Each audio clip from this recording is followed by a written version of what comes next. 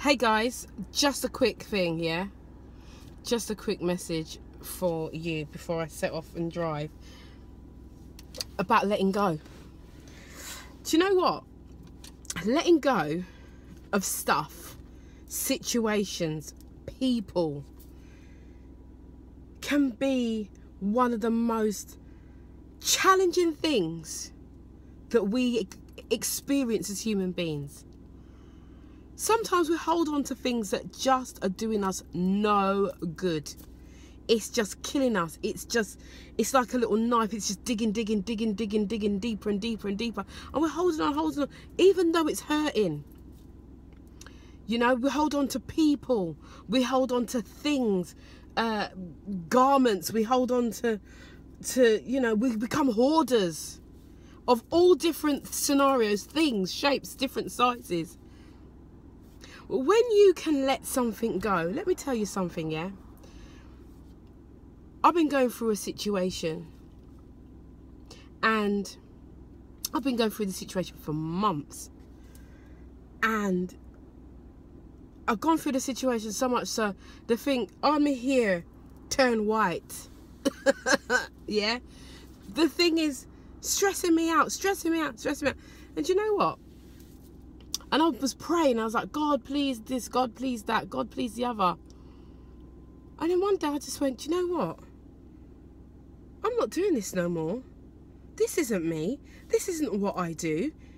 I don't stress over foolishness. And I don't stress over things I can't change. Let it go. That's my message. Just let it go. Whatever it is you're holding on to that you feel that you can't live without, let it go.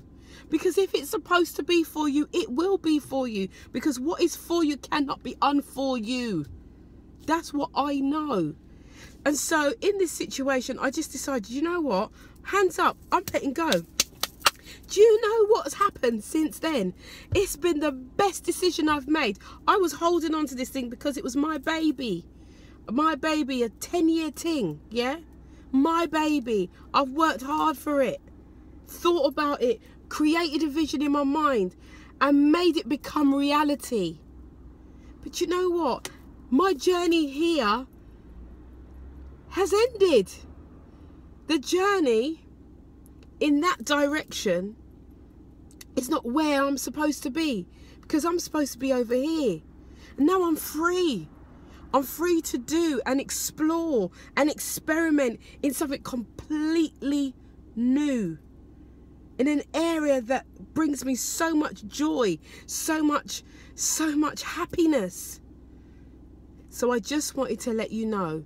Do you know what I mean? Don't let nothing hold you, bind you down because you've been doing it. Just because you've been doing it doesn't mean to say you, you have to keep doing it. Just because you should doesn't mean, just because you can doesn't mean you should. Yeah? So, and that's, oh, that's something that I'm learning. Because I, I, most of you know, I'm a very talented woman. I do a lot of different things. But the road, the road is changing and it's going in curves and roundabouts and all kinds of stuff. Yeah, you ever driven in Milton Keynes? You got a straight road, then you come to a roundabout and it's like, which direction do I go? Which way, which way, which way? Let your path lead you. Let go and let God. Let the universe show you where you're supposed to be. Yeah? Walk with your head high. Don't let nothing hold you down. Don't let nothing hold you back.